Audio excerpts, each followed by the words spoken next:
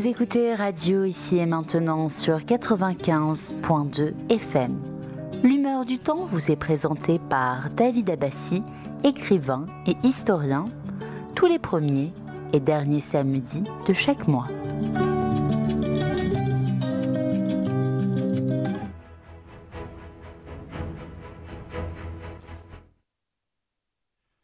Alors, mes chers amis, ce que je voulais vous dire, ça concerne l'histoire de la, des, des Juifs. Histoire des Juifs.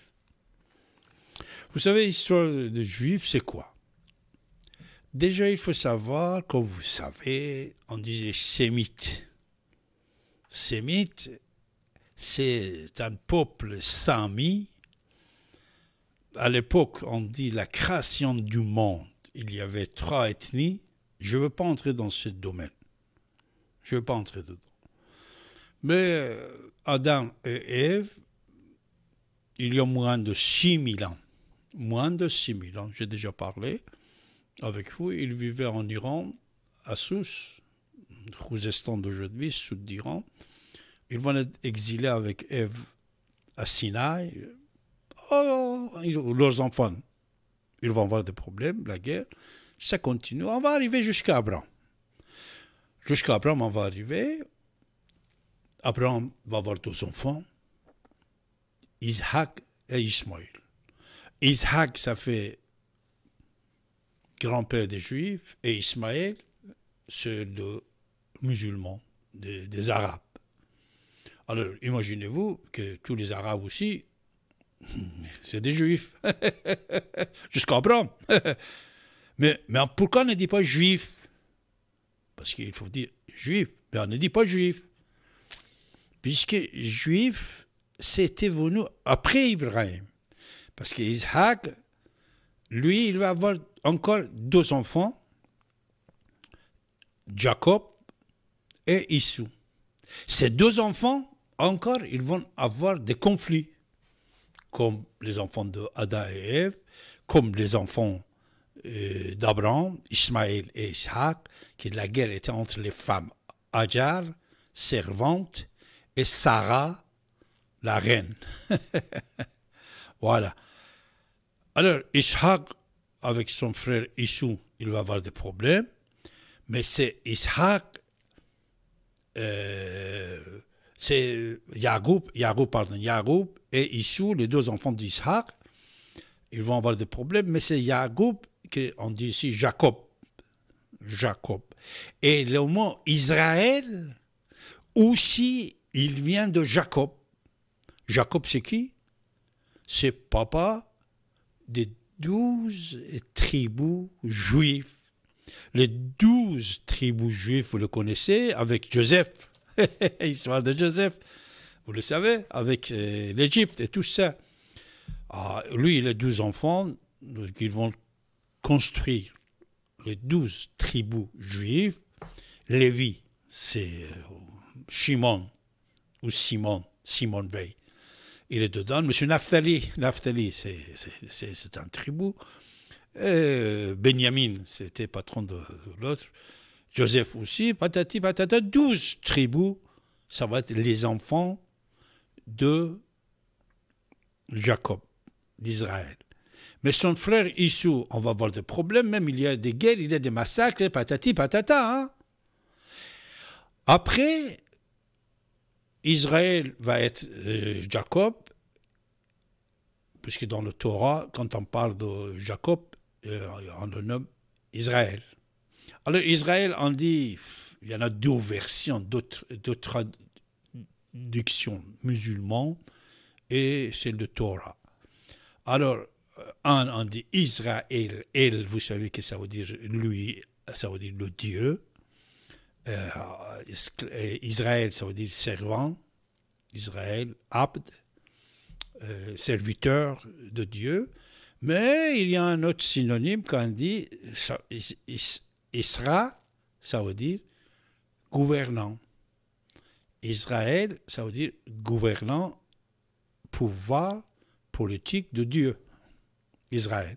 C'est pour ça que le pays, on l'a nommé Israël. Mais ça, ça existe depuis Jacob. C'est son nom, Jacob. D'accord, mes chers amis? Alors, jusque-là, ça va. Hein? Mais le problème, c'est que les enfants euh, de ces douze tribus, ils vont avoir des problèmes. Joseph, il va devenir euh, patron de l'Égypte, pharaon. Il va inviter sa famille de venir là-bas. Et sa famille, ils sont que 70 personnes. Ils viennent là-bas, en Égypte. Après quatre générations, les 70 personnes vont agrandir et deviennent moitié de millions, même plus que 500 000 personnes, presque 600 000 personnes. Et c'est là que le problème, ça commence. Le nouveau pharaon, pharaon ça veut dire roi d'Égypte. Le nouveau pharaon qui vient, il va dire, ah, les juifs ici, c'est trop, 600 000. La jalousie, vous voyez, c'est trop. Ça a commencé, depuis toujours, ça a existé. Et surtout que ces gens-là étaient intelligents, de bons conseillers, euh, ils savaient des choses, etc., organisés. Alors c'est là que le problème, ça commence en Égypte, vous voyez. Et comme dans l'histoire, plusieurs fois, la jalousie a ramené certains pouvoirs de massacrer, de tuer, d'exiler, de faire sortir les Juifs. Euh, alors, après tout ça, vous avez également. Alors, euh, juif, ça commence alors à partir d'ici. C'est-à-dire, ce n'est pas exactement après Abraham, c'est les douze tribus, il faut, je vous dire, les douze tribus qui s'est construit. Une fois que euh, fils du roi David, roi David, il a un fils, vous connaissez son fils, Salomon. Suleiman, on dit en personne en arabe, Suleiman en arabe, euh, Suleiman, euh, il est le fils du roi David. Alors lui, quand il va mourir, les tribus juives ne vont pas accepter son fils comme roi. Il dit, succession, ce n'est pas euh, hérité, il faut le mériter. la guerre, ça commence. Et quand la guerre, ça commence, c'est là, c'est ici que même Assyriens, ils vont avoir des problèmes avec les Juifs. Il y a dix, combien? Dix tribus juives qui vont être perdues dans l'histoire. Jusqu'à aujourd'hui même, on ne sait pas où sont partis les dix tribus juives. Ça s'était arrivé à environ 700 ans avant Jésus-Christ. Le problème qu'ils vont avoir avec le pouvoir central euh, assyrien, il ne reste que deux tribus seulement, les deux tribus qui vont accepter le fils de Salomon comme roi de Juifs, deux tribus Yahuda, Juda, Juda et Benjamin. Et à partir de là, on va nommer tout le l'ethnie israélite, c'est-à-dire de Jacob, juif. On va le nommer juif. Les dix tribus, c'était disparu. On ne sait pas où est-ce qu'ils sont.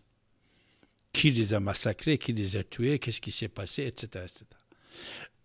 Après, si on vient dans l'époque moderne, pardon, de tout ça que je viens de vous dire, ça c'était une longue histoire d'une année qu'à l'université on donne aux gens. Je vous ai donné en dix minutes. Après, vous avez trois parties du peuple juif que vous le connaissez, deux. Deux, vous le connaissez. Mais le troisième, même Bernard-Henri Lévy ne le savait pas. Même Jacques Attali ne savait pas. Euh, peut-être il savait, il le cachait, hein. Je ne sais pas. Ah, vous voyez, c'est-à-dire on dit mais on ne connaît pas leurs histoires. C'est quoi? Vous avez actuellement Ashkenaz et Sepharad. On dit, ah, il est Sepharad, l'autre, il est Ashkenaz. Il y a beaucoup d'autres euh, groupes euh, juifs, mais Trois, c'est le principal, c'est le max, qui, qui, sont très nombreux, mais il y en a d'autres aussi. Alors, Ashkenaz, Sephirot, vous connaissez. Le troisième, c'est Mizrahi. Alors, Mizrahi, ici, on ne parle pas. Oh, personne ne parle pas de Mizrahi, mais pourtant, on a beaucoup de Mizrahi ici en Europe et en Amérique. Les Mizrahi, ce sont des Juifs de Moyen-Orient, les Juifs de la Russie, d'Iran, d'Irak, du Liban, de Nord-Afrique de temps en temps, à part de Sepharad qu'on va l'avoir. Vous voyez? Oh, Mizrahi. Alors, c'est Mizrahi, il faut que je vous dise, le prononciation en Iran, ça changé, on dit Mirzaï. Mir, on dit Mir. Mirza, Mirza, vous vous rappelez de chanson Mirza pour le chat, il l'a nommé Mirza. En Iran, vous avez beaucoup de familles Mirzaï, mais Mizrahi, vous ne l'avez pas. Parce que c'est Mirzaï qui est après. Après, vous avez Ashkenaz, Seferat. Alors, Ashkenaz, c'est qui? Ce sont les Juifs d'Allemagne. les Juifs qui étaient en Germanie et l'Empire de Germanie de l'époque on le nommait Ashkenaz, qui était plutôt rationnel, plutôt laïque, moins de religion dedans. C'est pour ça que même euh, si George Soros n'est pas religieux, puisqu'il vient de Budapest, vous voyez, sa famille, c'est là-bas. Après Sepharad, c'était des juifs d'Espagne, de, Portugal, euh, des, des, pays européens, qu'après aussi en 1492, ils vont avoir des problèmes. Euh, le pouvoir d'Église, il va commencer à chasser et tuer les Juifs euh, en Espagne et en Portugal. Ils vont quitter, ils vont venir ici en France, dans les autres pays, ils vont être dispatchés. Mais après, à part de ces trois ethnies, vous avez encore euh, trois groupements, vous avez deux autres, peut-être même trois. Un, on dit Marami. Marami, c'était les Juifs qui ont, après 15e siècle, quand le massacre a été commencé en Europe, en Espagne plutôt, ils ont dit, OK, on est, chrétien. Et ils ont dit qu'il était chrétien, parce que tu peux changer de la religion. Je vous ai dit, l'ethnie juive, il est stable, mais la religion, ce n'est pas obligé, tu peux changer de la religion. Ils deviennent chrétiens dans la société, juifs dans la famille. Marami. La même chose vous avez en Iran. En Iran aussi, euh, plus de 100 ans, il est 150 ans, il y a un problème qui commence, surtout à Mashhad, pour massacrer les Juifs. Et là aussi, l'ayatollah de, de, la ville, il dit Ah, si vous ne voulez pas qu'on vous tue, vous devenez musulman. Alors on dit Ok, on est musulman, mais ils sont musulmans dans la société, mais juifs dans le foyer. Par exemple, dans la société, le gars, il s'appelle Mohammed, Abdallah, Ali, Hassan. Mais Ali, c'est Eli. Hein? Euh, à la maison, il est Joseph, Youssef, par exemple, autre chose. Il prend le nom juif et, il mange cachère, mais en cachette. Concernant cette histoire-là que je viens de vous dire, ces gens-là, on dit Anoussi, les juifs Anoussi iraniens. Il y a 4-5 livres que les juifs eux-mêmes aussi ces gens-là qui étaient d'origine juive, mais pour la sécurité de leur famille, ils ont dit dans la société qu'ils sont euh, juifs et musulmans. Euh, j'ai un ami juif à Los Angeles, Bijan Khalili, il est patron d'une maison d'édition.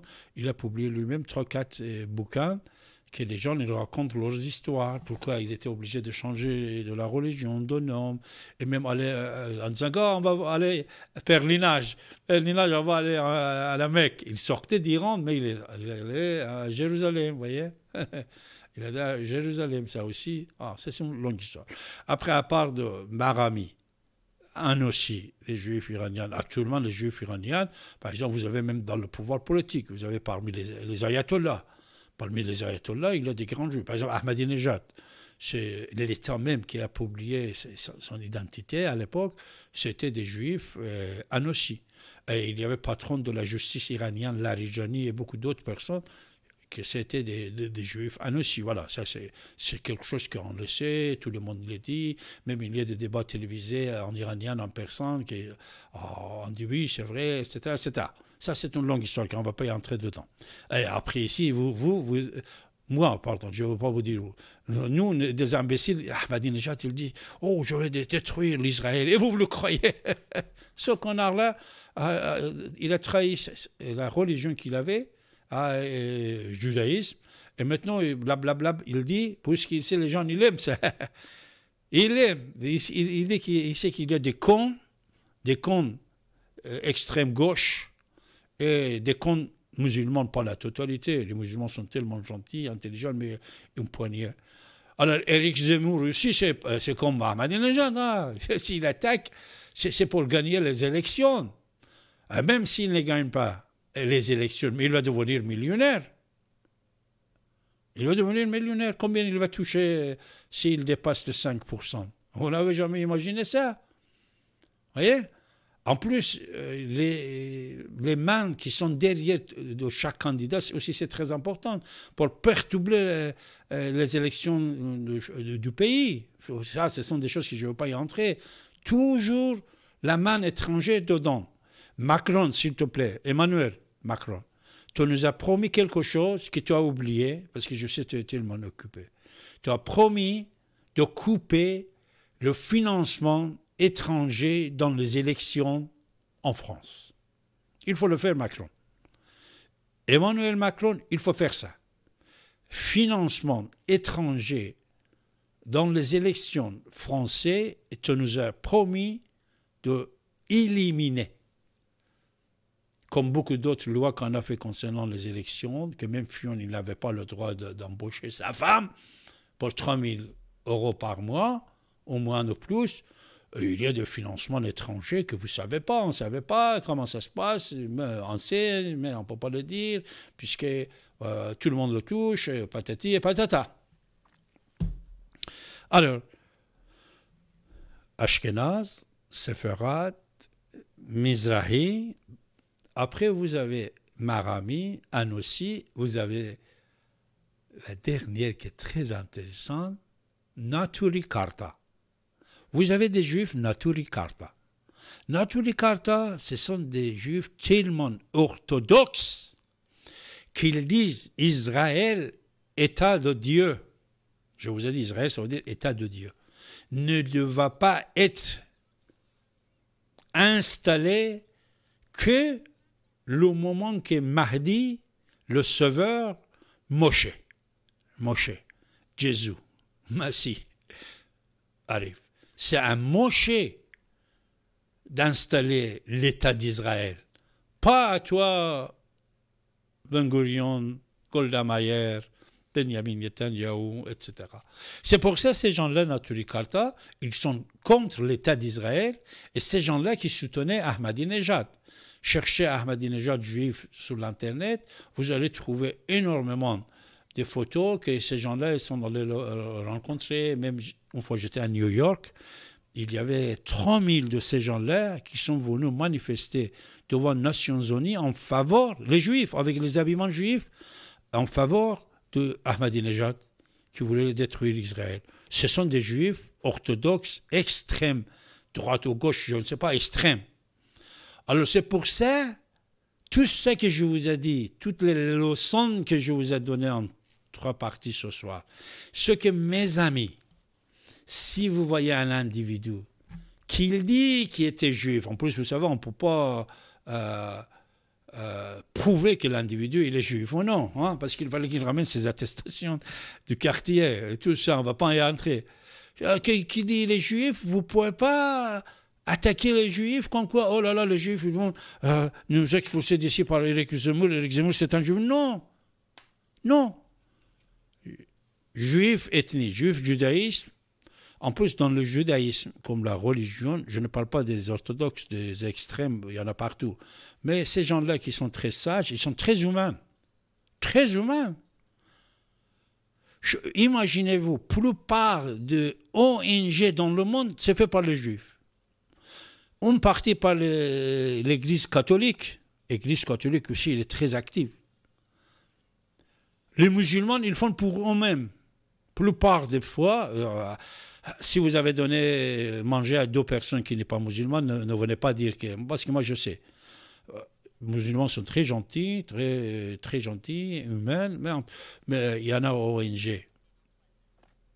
Par exemple, vous n'avez pas ONG musulmane d'aller, euh, je ne sais pas, dans la guerre en Israël, aider les, soldats israéliens blessés. Mais Israël, euh, il, reçoit tous les dirigeants, même palestiniens et pays musulmans, pour soigner dans leurs hôpitaux. Alors, la plupart des ONG très actives dans le droit de l'homme, Amnesty International et tout ça, c'est des juifs. Amnesty International, vous le connaissez? C'est George Soros. C'est géré par lui. C'est lui qui finance. Vous ne saviez pas? Ne touche pas à mon pote. SOS raciste en Espagne. À droite à gauche. SOS raciste. C'est George Soros. la liste, on a diffusé. Vous n'avez pas écouté. Trois fois la liste. D'environ 400 ONG, on a pour la plupart des choses. Aider les émigrés. Aider les émigrés défendre les émigrés. Vous pensez euh, d'où est-ce qu'on ramène l'argent euh, des bateaux et tout ça, aller chercher les réfugiés euh, qui sont en train de mourir en sortant de la Libye et ici à Calais et tout ça. Cette organisation qui existe, plusieurs organisations, qui paye? Pour le de ces organisations, ONG, c'est payé par les Juifs. Alors, il ne faut pas dire qu'Eric ah, Zemmour, il a dit ça, c'est les Juifs, patati patata. Est-ce que vous avez compris, mes amis? Je vous embrasse. Je vous aime. Si vous avez des questions, préparez-vous. La semaine prochaine, je ne suis pas là, mais la radio est là. Euh, et je vous prie, quand vous faites vos débats, prenez note de tout ce que j'ai dit. Écoutez plusieurs fois, écoutez plusieurs fois, prenez note. C'est sont de leçons. 1 plus 1, ça fait 2. Ce n'est pas avis personnel de David. C'est des leçons de l'histoire, de philosophie, de l'humanisme. Soyez humaniste, ne soyez pas raciste, ne tombez pas dans le piège des extrémistes anti-juifs, antisémites, anti-arabes, anti-quoi, anti-musulmans. Non, non. Nous sommes tous des êtres humains, comme vous avez pu constater, musulmans, juifs, vous êtes les enfants d'Abraham. Abraham, pourquoi la haine? Heureusement que la guerre Palestine, Israël, après 3000 ans, ça se termine parce que Jalut et Talut, ah, ils ont fait la guerre, ils ont coupé la tête de Jalut, patron des roi des Palestiniens. 3000 ans de la guerre, c'est terminé. Maintenant, Israël, il est dans tous les pays arabes ou musulmans, même dans les lieux saints. C'est bien, c'est la paix. Soutenez la paix, soyez contre les gens qui vont faire la guerre dans le monde. Je vous embrasse. Alors, qu'est-ce que je vous diffuse là? Hop là, voilà, jingle, et après ça. Allez. Bonjour à toutes et à tous et bienvenue sur Radio ici et maintenant 95.2 FM. J'espère que vous allez bien. On est vendredi, le vendredi 3 décembre 2021 et c'est Morgane avec vous